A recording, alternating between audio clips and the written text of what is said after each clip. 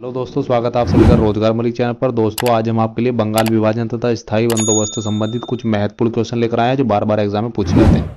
तो चलिए दोस्तों, स्टार्ट करते हैं बिना किसी देरी के। आपका पहला क्वेश्चन है, निम्नलिखित में सबसे बाद में क्या हुआ था? हड़प नीति, बंगाल का विभाजन, स्थायी बंदोबस्त या सहायक संधि? तो दोस्तों, आपका सही उत्तर हो जाएगा ऑप्शन बी, बंगाल विभाजन। दोस्तों, बंगाल विभाजन उन्नीस में हुआ था। चलिए दोस्तों, इन सबको देख लेते हैं। तो सबसे पहले दोस्तों आपका दिया है उन्नीस सत्रह में लॉर्ड कॉर्नवालिस ने स्थायी बंदोबस्त प्रणाली लागू की थी। लॉर्ड वेलेजली ने भारतीय राज्यों को अंग्रेज़ी राजनीतिक परिधि में लाने के लिए सहायक संधि प्रणाली का प्रयोग किया था। लॉर्ड डलहौजी ने अंग्रेज़ साम्राज्य का विस्तार करने हेतु हड़प नीति का प्रयोग किया था। तो दोस्तों सबसे बाद में जो है लॉर्ड कर्जन द्वारा वर्ष 1905 में बंगाल विभाजन किया गया था। तो चलिए दोस्तों आपका सही उत्तर हो जाएगा ऑप्शन बी, बंगाल विभाजन। चलिए अगला क्वेश्चन देखते हैं, क्वेश्चन नंबर दो। बंग भंग विरोधी आंदोलन का प्रारंभ किस तिथि से हुआ था? 20 जुलाई 1905, 7 अगस्त 1905, 16 अक्टूबर 1905, 7 नवंबर 1905 आपका सही उत्तर हो जाएगा ऑप्शन बी 7 अगस्त 1905 चलिए दोस्तों इसको देख लेते हैं। ब्रिटिश सरकार ने 20 जुलाई 1905 को बंगाल विभाजन के निर्णय की घोषणा की 7 अगस्त 1905 को कलकत्ता के टाउन हॉल में एक ऐतिहासिक बैठक में स्वदेशी आंदोलन की विधिवत घोषणा कर दी गई। इसमें ऐतिहासिक बहिष्कार प्रस्ताव पारित हुआ। इसी के बाद से बंगाल में विभिन्न क्षेत्रों में बंग भंग विरोधी आंदोलन औपचारिक रूप से एकजुट होकर प्रारंभ हो गया। तो बंग भंग विरोधी आंदोलन जो है, सात अगस्त 1905 से स्टार्ट हो गया था। 16 अक्टूबर 1905 को बंगाल विभाजन प्रभावी हो गया था। तो इसको याद रखेंगे। चलिए अगला क्वेश्चन देखते हैं। क्वेश्चन नंबर तीन। भारतीय स्वतंत्रता संग्राम के संदर्भ में 16 अक्टूबर 1905 को निम्नलिखित कारणों में से किसके लिए प्रसिद्ध है?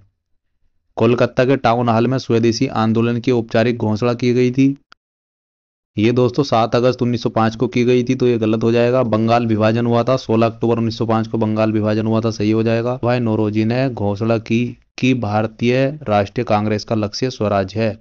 ये गलत हो जाएगा। लोकमान्य तिलक ने पूना में स्वदेशी आंदोलन प्रारंभ किया था तो ये भी गलत हो जाएगा। तो ये भी गलत हो जाएगा। दोस्तों, आपका सही उत्तर हो जाएगा। ऑप्शन बी, बंगाल विभाजन जो हुआ था 16 अक्टूबर 1905 को हुआ था।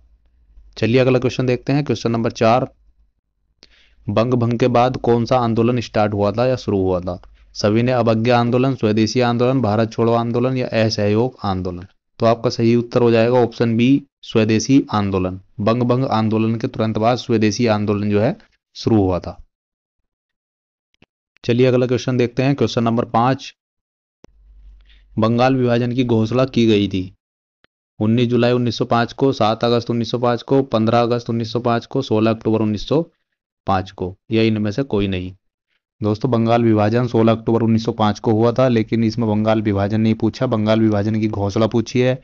दोस्तों, बंगाल विभाजन की घोषणा 19 या 20 जुलाई। 19 या 20 जुलाई को हुई थी तो आप ऑप्शन में 19 जुलाई दिया है तो इसका आंसर हो जाएगा 19 जुलाई 1905 को। आपका सही उत्तर हो जाएगा ऑप्शन ए चलिए दोस्तों, इसको देख लेते हैं।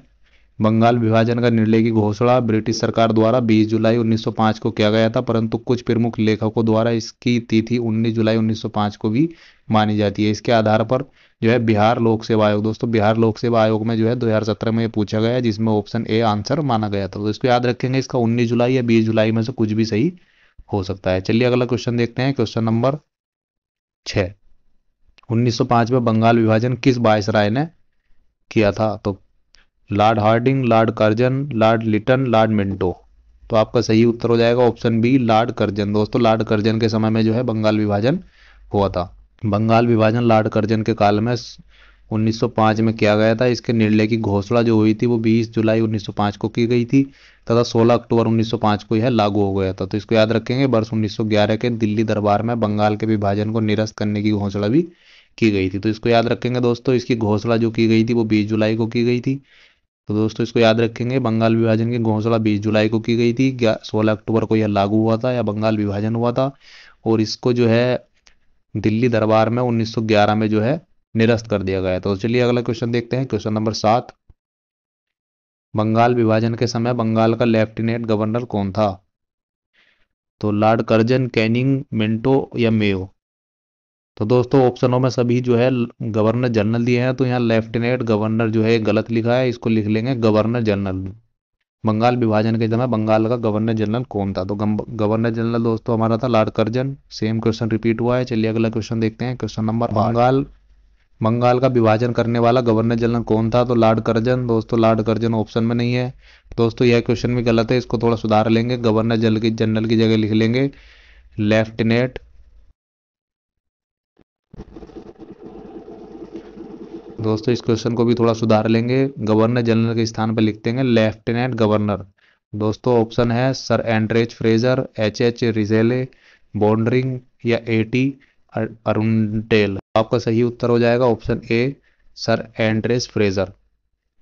Sir Andrew Henderson Leith Fraser भारतीय सिविल सेवा के अधिकारी थे। उन्होंने वर्ष 1903 से 1908 तक बंगाल के लेफ्टिनेंट गवर्नर के रूम में अपनी सेवाएँ दी थी। बंगाल विभाजन 1905 की योजना में इनकी महत्वपूर्ण भूमिका रही थी। तो बंगाल विभाजन में इन्होंने महत्वपूर्ण भूमिका निभाई थी और ये लेफ्टिनेंट गवर्नर थे। तो इसको याद रखेंगे। चलिए अगला क्वेश्चन देखते हैं। क्वेश्चन नंबर नौ।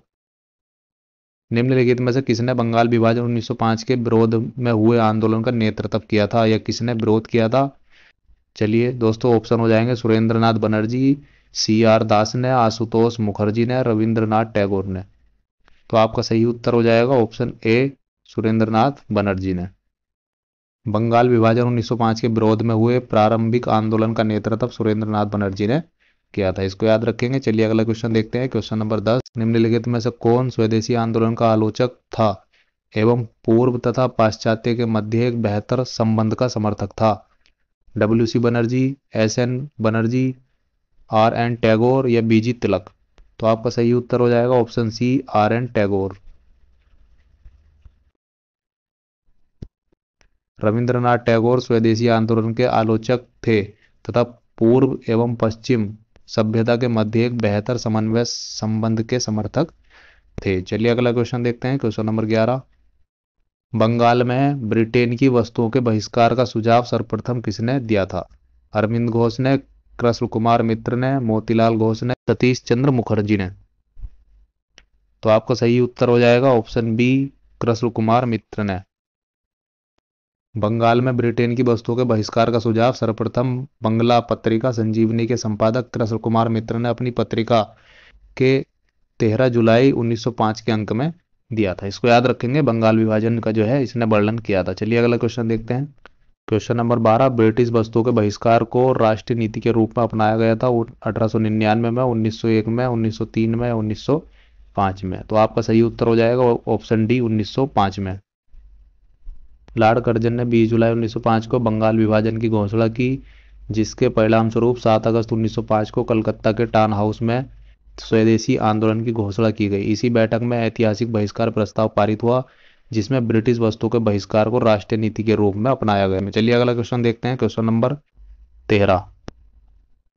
बंगाल का विभाजन मुख्यतः क्या गया था?